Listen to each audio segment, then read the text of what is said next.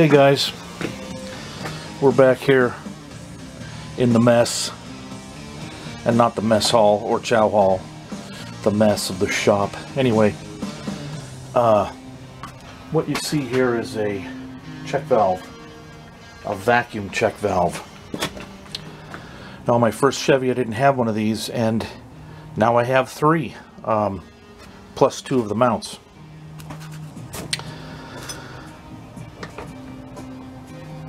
The brake system on the G506 is vacuum over hydraulic. and what this does is uh, this pre prevents a surge of air into the intake system so the engine won't race when you let your foot off the brake pedal. So the first couple of photographs at the beginning of uh, this video is what it looked like. And like I said, this is one of the spares. Here is the original vacuum hard hose that came out of my truck. And I, I prepped it once before. And then I looked at this fitting. Let's get uh, a little closer up where it's going to focus. And that fitting is shot. Um, to fix that is pretty easy. I just have to cut the end off and double flare the hose again or put a new fitting on and then double flare the end of the the metal hose. But I have a spare. And it just needs to be cleaned up and it's in excellent condition. So let's go ahead and put this thing back together.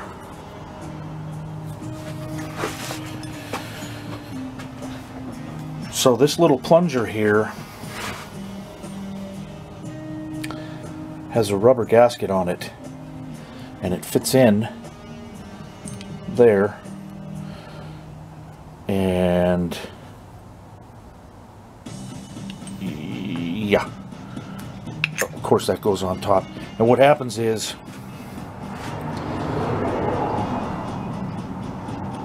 when you need the vacuum, it'll open by itself under vacuum. And then, like I said, when you let the let your foot off the brake pedal, it, it vacuum draws it closed again. So, here we go.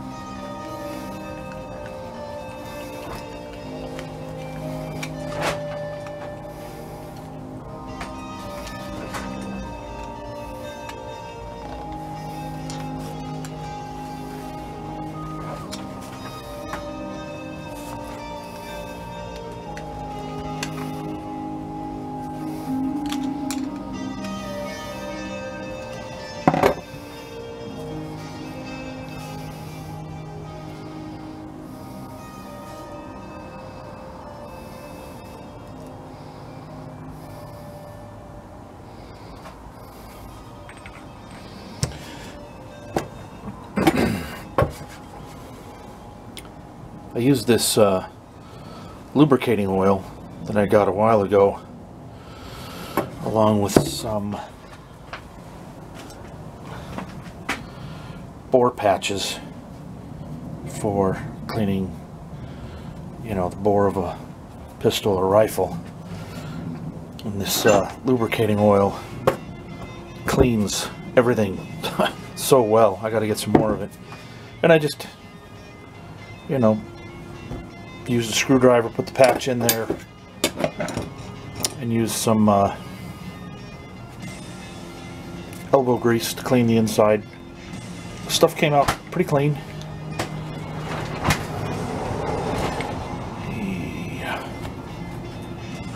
Uh,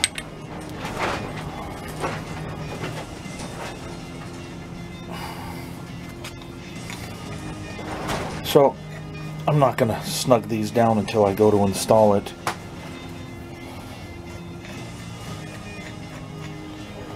Yup, that's wrong.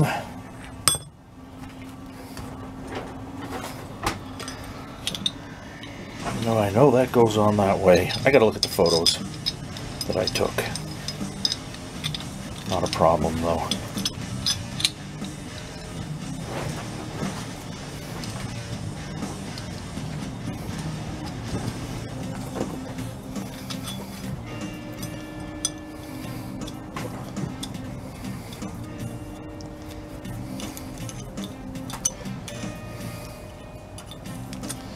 I'm just going to snug this square nut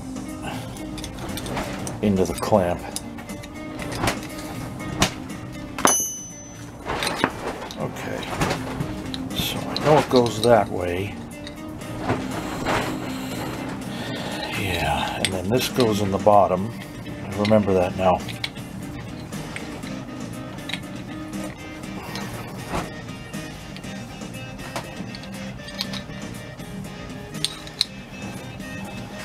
And this fitting goes here.